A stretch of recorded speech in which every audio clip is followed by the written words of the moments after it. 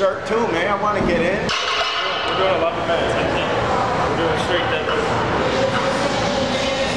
Let's go. Buy me one of shirts.